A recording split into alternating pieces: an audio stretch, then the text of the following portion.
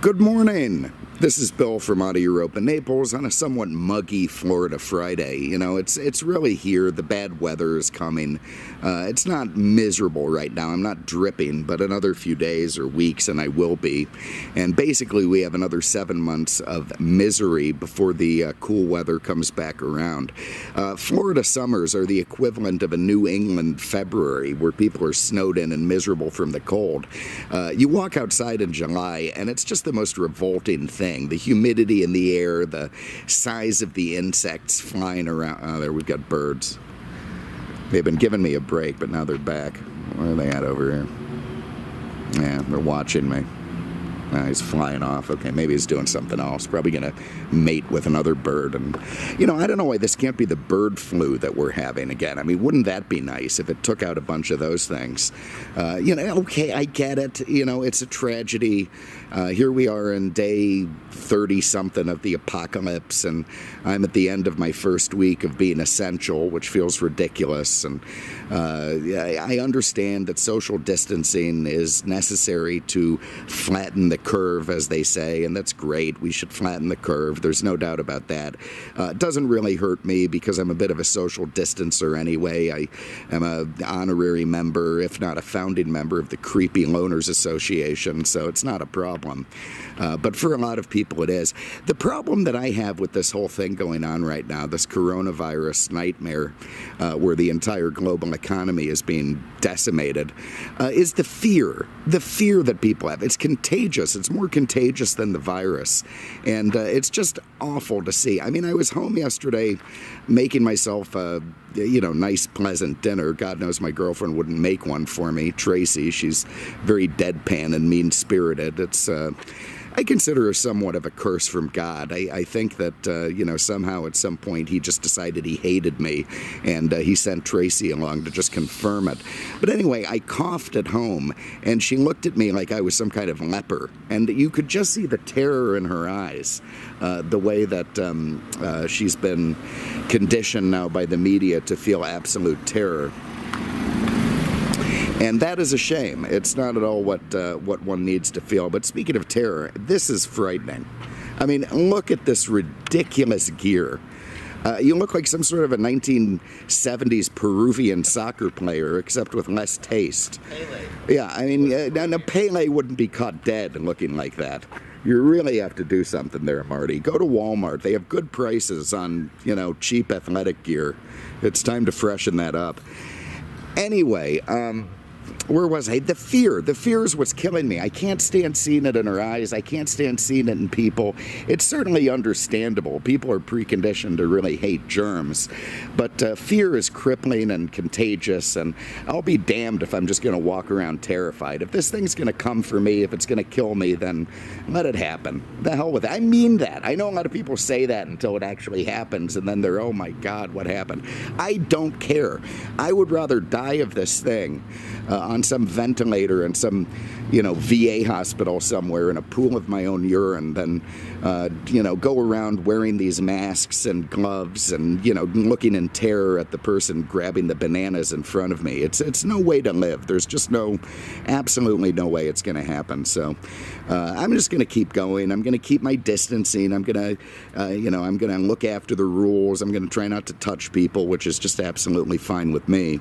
Uh, but uh, I am not going to live in absolute terror. So, uh, anyway, we're getting into this um, uh, 2004 Mercedes Benz CL 500 this is my kind of Mercedes Benz, without question. I mean, it is exactly the sort of car uh, that I would buy if I were looking to buy a Mercedes. I mean, they have screwed me over multiple times, Mercedes. They, they just have, and I love them. I've been a fan. The first Mercedes I ever got, it was an 87 420 SEL, and it was beat to crap. Uh, it was absolutely beat to crap. It had been to every, you know, roadhouse bar and strip club in town. A friend of mine owned it first. Uh, that's the sort of shit he likes, and I can't blame him. I was probably there with him, but, uh, but anyway, you know, so it had door dings, it had road rash, curb rash, uh, all sorts of things that just made it look like crap. And anyway, when I got it and I drove the thing around for the first time. I was a very young man. I just felt like the absolute chairman of the board. Uh, there was something that I got from it that I just never felt in any other car. And uh, that's when I fell in love with the Mercedes Benz for real. I had had a little experience with one before that. I didn't grow up rich or anything. And, uh, but that one really cemented it into place, and I never looked back. And this car, the CL in 2000, Bruno Sacco, a very famous Mercedes Benz designer. This was his last design, and it's a masterpiece in my mind. Uh, it, it, this one is for people who traditionally love Mercedes Benz products. That's what it was made for at the time. Uh, it was considered the flagship of the lineup when it came out in 2000. Uh, not the most um, expensive Mercedes, that was reserved for the SL600 at the time, but they did consider it the flagship of the Benz lineup. Uh, Mercedes Benz nomenclature, I could do a whole video on that because it's annoying and irritating, but uh, the CL, like this one, uh, you know, coupe long if you want, whatever you want to call it, doesn't matter. It is essentially the S Class coupe, and they gave it the CL badging because they wanted to distinguish it from the S Class. Historically, uh, these things kind of just looked like two door version of the S's and were made for, you know, people who didn't need all the room and uh, were kind of masters of the universe. But by the time this car rolled around, this was important to Mercedes and they wanted to give it its own identity. And uh, they did. You know, the CL was around a couple years before this, but uh, this was the true sort of CL that they had in mind when they did the name change. It uses all kinds of advanced manufacturing uh, processes, advanced materials, incredible amounts of technology built into it. Uh, the design is very slippery and aerodynamic, while at the same time being uh, being very subtle. I mean, it goes down the road. They've managed to reduce drag coefficient. They've managed to reduce lift, and they've done it all without adding a bunch of gawky, weird-looking spoilers and wings and that sort of thing. Uh, it has a beautiful sloping greenhouse on top. Uh, you know, curvature, lovely. It's pillarless coupe, so it has no side pillars, no frames around the windows. Uh, very traditional Mercedes styling cue. Uh, the materials it uses at the time were just absolute state of the art, befitting, you know, a ninety thousand dollar car in two thousand. Uh, the uh, anything that you can't see body wise is steel on the inside. On the outside, the doors, the roof, the trunk, the fenders, and the back are aluminum. Up front, they're kind of a composite plastic, all very lightweight. Uh, the inner door structure is magnesium. Uh, so all in all, it managed to shave hundreds of pounds off the prior CL, which was considered very big and bulky, uh, while at the same time adding more space inside and uh, much more agility and much more driving dynamics. Uh, this one, by 04, they had put the AMG Sport package on them. You see the big twice pipes at the bottom, uh, big AMG wheels, more or less a cosmetic upgrade that they got to charge money for. Really didn't add anything mechanically. Still basically the same engine in the non AMG Sport. And uh, all in all, I just, you know, you pulled up in this thing, you were a very elegant person. I mean, this is an old money Mercedes. And again, for people who traditionally love the Mercedes Benz lineup. And now they're so cheap. You know, people are terrified of maintaining them if they even know them. Uh, it scares the hell out of them, as it should. There's a lot of stuff that can cost money on this thing, not for the faint of heart. Uh, but my God, what a bargain you get for your money. I mean, the, the, th the money these things cost. It should be a lot more. Anyway, let's just get into this. I'm rambling. It's all the whiskey therapy from the uh, coronavirus. I mean, don't get me wrong. I don't want to catch the damn thing. I don't even like getting a cold. Not that anyone does, but, uh, but uh, you know, that said, the whiskey may help prevent the virus, but it certainly doesn't do anything for my aptitude. Okay, you can see it as a power lifting trunk, which is a nice feature. You know, this was all pretty modern when this car came out. That wasn't the kind of thing you saw around anywhere. Uh, it has the infant containment net right here, still installed.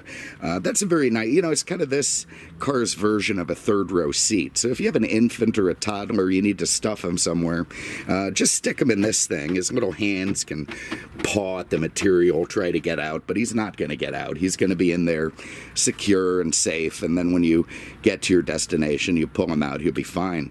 Uh, so a nice sized trunk, you're going to be able to fit whatever you need in there. Lift this thing up. There's the uh, spare tire, full size, toolkit, fuses, that sort of thing. Uh, all very nice. Uh, the books are so ridiculous in size you can't fit them in the glove box, so they've given you this pleasant little place to stuff them in the back, and uh, everything nice and proper there. I think we're gonna have a nav drive in here. I'm gonna say. Yeah, there's your uh, there's your CD changer and nav drive. Uh, you know, very convenient place to change CDs when you're going down the road at 80 miles an hour. Who doesn't want them in the trunk? But uh, anyway. Ah, that was the time. So there's your power close on the trunk. Very nice. Look at that swooping, beautiful C pillar. Mean, that is absolutely gorgeous. And then the subtlety of the design is so Mercedes. This uh, rear window has been designed so that water and mud and that sort of thing will not run down the middle of it. It will channel itself down the sides, keeping the back clear. Uh, ditto the side windows. Uh, you know, above and beyond what most normal cars do. Uh, this thing is designed to not incur on your vision. Have a look under the hood before we get into the rest.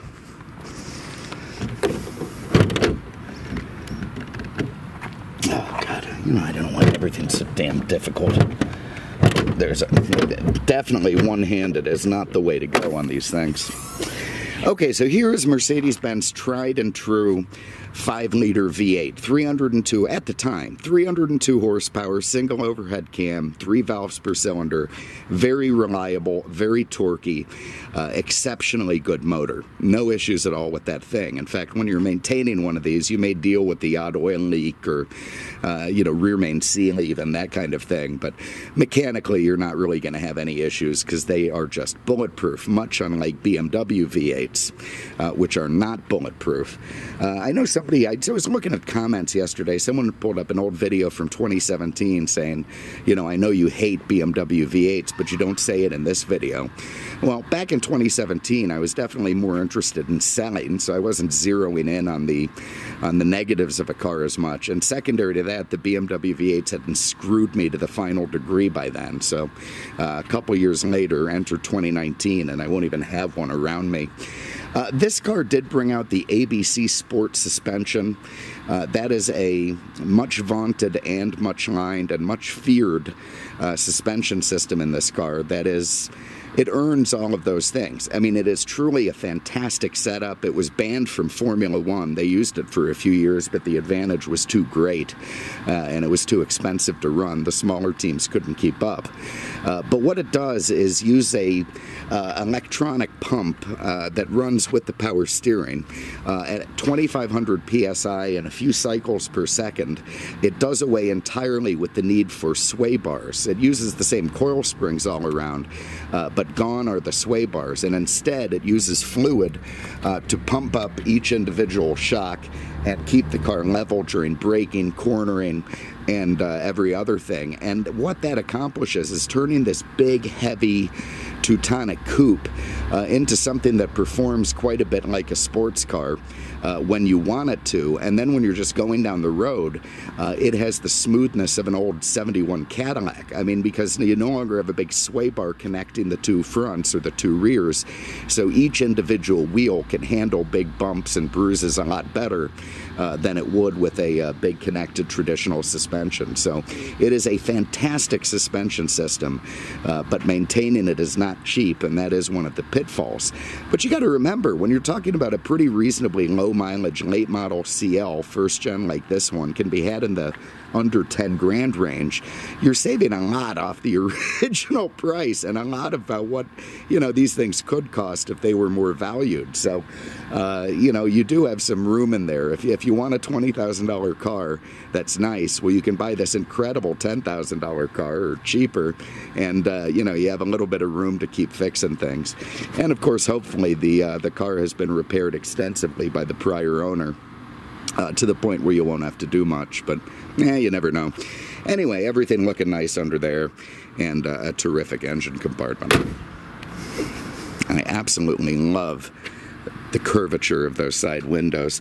Uh, this does have keyless go. Again, this was all stuff that was more, um, you know, was more special back in 2000. Now every Kia has it, but you press that little button to unlock it. It'll sense the keys in your pocket, uh, and here uh, it'll open it up when you pull it and activate the starter. Uh, most fascinating on the CL are these articulated door hinges. It also has soft close, I think. Yeah, it sure does. So it'll suck the door in. But look at these insane, incredible articulated hinges that actually move the door forward and out. Uh, and what that accomplishes is without swinging the door so wide, you smash it into the car next to you at the parking lot, you still get a very wide egress and uh, entry without, uh, you know, infringing on the infringing on the cars around you. It's a beautiful, expensive system that obviously was too expensive to keep using because I haven't seen Mercedes use it since. Uh, when I talk about this being the traditional Mercedes luxury, uh, you can see that in the way that this handcrafted wood with the buttons, uh, the beautiful stitched leather on it, the expensive materials. you know, you can tell this truly was the the classiest and most expensive expensive Mercedes of the day. Love the beautiful big chrome cap on the side of the door. And uh, it still does use a latching system, not quite as Panzer tankish as the. God, I wish it would stop friggin' beeping. Thank you. Uh, you know, not quite like the Panzer tank system as the old cars. Like you see, the 123 wagon is back. We got it. Uh, I put some bombs in it yesterday. Gonna dick around with the air conditioning, so we're getting there. Uh, but anyway, it uh, has some Panzer tank qualities. Also, the most incredible seats. You can see they're like 83 way power seats. You can uh, move the uh, bottom cushion in and out like this, the top cushion. Uh, they're uh, multi contour with airbags and pulse massage, although that never works after the first couple of years. they're heated and cooled, and they're an incredibly comfortable place to be. also, your Canadians in the back are going to be very chipper for being in a two seat car, or sorry, a two door car. Uh, a middle sized Canadian, no issues at all. Very comfy place to be. He's got airbags all around him to keep him safe, and he's going to be able to sip his Molson back there and feel pretty chipper. Also, like the way the seat uh, goes forward and back for egress. I love this big chrome uh, handle. That wasn't on the other cars. The S's of the, you know, this thing had more content. Anyway, let's hop in. All right, foot on the brake, we tap that guy. And it fires to life with a nice healthy growl.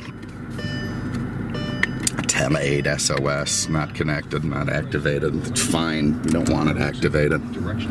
Let's turn this down, we'll see what we got. Get my seatbelt on first. Okay, so again, for your 90 grand, uh, back in 2000, this is an 04 mind you, but same car, uh, you did get a lot of nice, comfortable stuff, uh, and that's uh, there's no denying it.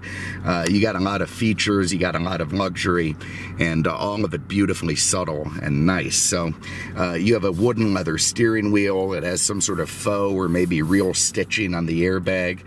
you got your multifunction controls. you have a very nicely laid out instrument cluster, LED background. you know they robbed that from Lexus, but still looks good. You got your water gauge, your fuel, your tach, your, uh, of course, miles per hour, a little digital outside temperature display, and, uh, of course, your center cluster, which can give you different stuff and, you know, whatever. You play around with that. Uh, the headlight switch is a modern version like for 2000 of the headlight switch Mercedes have had since like the 20s. Uh, you've got, again, this beautiful power seat setup. Very easy to use, ergonomic. Uh, you know, you just move the seat the way you think you want it, and it's perfect. Uh, also has heating and cooling, memory. Here's your power mirrors. See if they work, if they fold in. Look at that. It's a miracle. Got them folded in on both sides. Yeah, we'll see how soon that breaks. Nobody probably ever used them. Uh, up here is your Parktronic. That was an option. Uh, if you're getting too close to something in the front or rear, it's going to light up red and then beep at you. Uh, this is a power tilt and uh, telescoping steering wheel. Very nice stuff. Uh, you got your power windows here. You got more beautiful wood trim. You got a nice little map pocket here where you can hide some uh, hide some magazines for your nine mil or you know whatever it is you need to put in there. Um, I suppose golf tees or golf gloves, whatever it is a Mercedes driver needs. Uh, again, the beautiful leather stitch dash. The, I mean, gorgeous. This is all extra special tough on the uh, stuff on the CL Coupe. Uh, this will run a uh, rear window screen, very nice. That'll keep the backs of your Canadians next chipper. This turns off the uh, Parktronic which I don't know, I can't seem to make it turn on or off. Maybe have to be in gear. Doesn't matter. Uh, ABC Sport, that's that active body control, the suspension. Uh, you turn that on, and that's going to give us uh, a little bit more sporty handling. Uh, this is the airmatic part of that where you could raise or lower the car if you need more ground clearance. Nice stuff. Hazards, electronic stability program. That's the traction control that works all in conjunction with all this stuff. So, uh, very, very nice features. Uh, down here, thank God, being an 04, it has the updated Mercedes Command cockpit management data system. Uh, it gives you a nice screen. You got your navigation, you got your audio. Uh, this is the oldies station in town, and much to my horror, they've been playing stuff that sounds good to me. Although this is not one of those songs, thank God. So every time I tune into it and it's some song that I think is ridiculous, I get happy. It means I'm not decrepit fossil yet. Go. That's a little bit better. Uh, anyway, so there it is. Nice setup there, and uh, you can run it fine. You've got your climate control down there. This beautifully crafted wood that's uh, very much like the Mercedes-Benz of old. Uh, your comfort and sport setting on the transmission. We got it in comfort now. Wood and leather. Ah, beautiful. Uh, the cup holders over-engineered to the point of being absolutely ludicrous.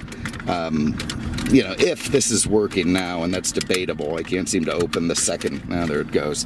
Uh, this isn't going to be working long if you actually use it. I mean, that is just ridiculous. I mean, that is some Mercedes engineer showing off to the point of stupidity. So uh, it's a miracle it works, even including that cover, which uh, I just can't imagine that's going to suffer much abuse.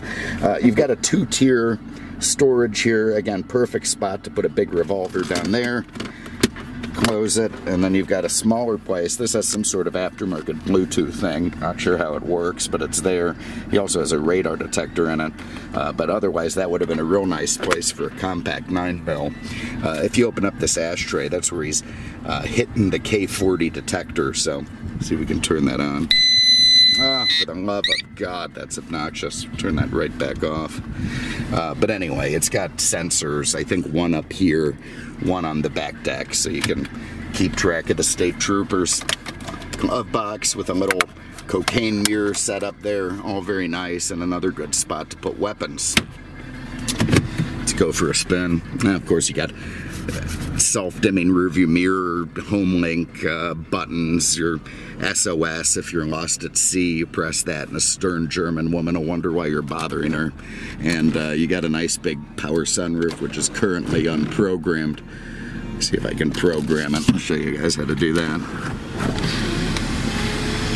Uh, if you know, if you start using the windows or sunroof in a Benz and they don't move all the way when you press the button, uh, just run it all the way to the front and back and keep it held, and that will program it. it sometimes happens after you change the battery.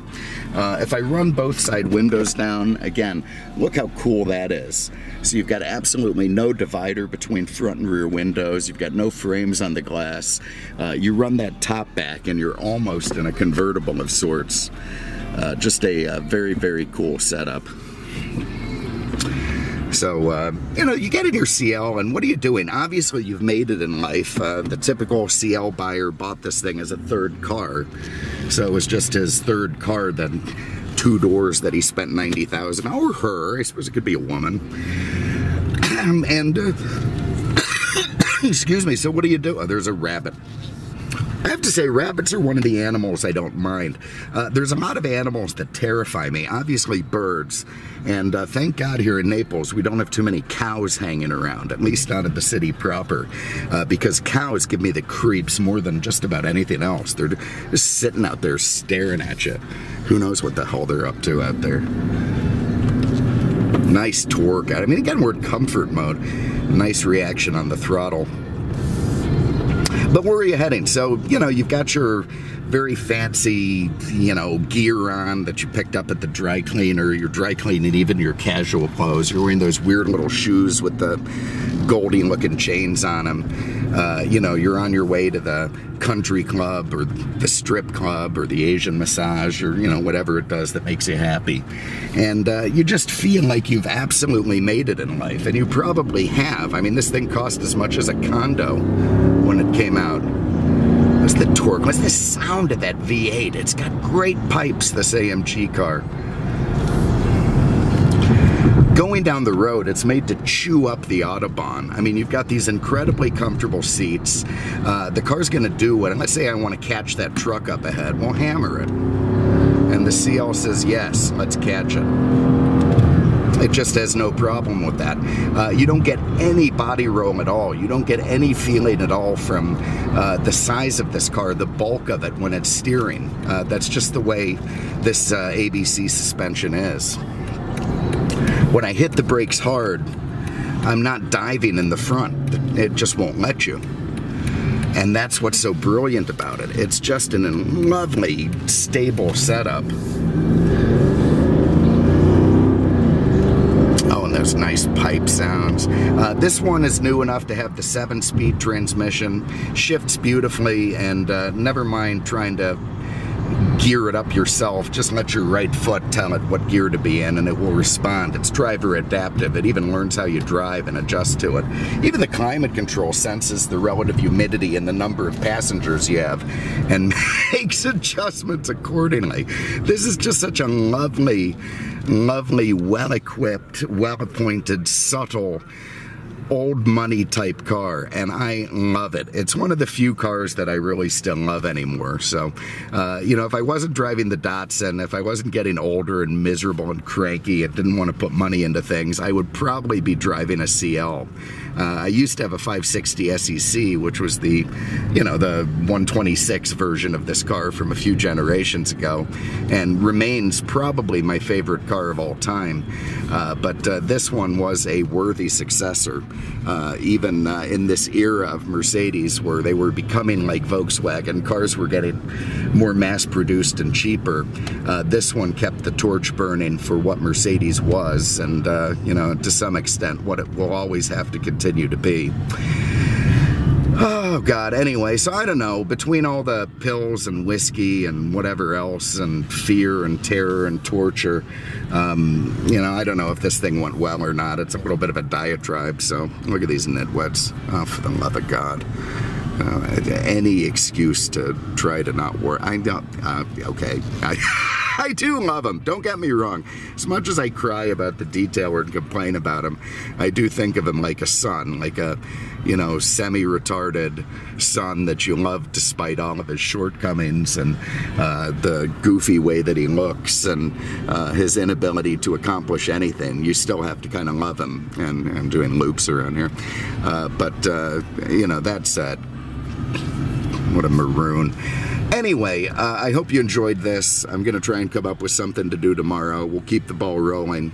Stay safe, stay good, uh, don't torture me too much. You know, if you're worried that I'm not worried about this coronavirus, uh, there's enough people who are. The world doesn't need me to to start worrying about it. It's got plenty to keep that going. I'm keeping my distance from people. I'm not touching them or kissing on them or anything. So I'm doing what I'm supposed to, but I am just not going to go around living in terror of this thing or telling people that they need to. Uh, so anyway, thanks for having a look. We appreciate it. We'll come up with something fun for tomorrow. There's our Parktronics working, and uh, we'll see you with the next one. Take care.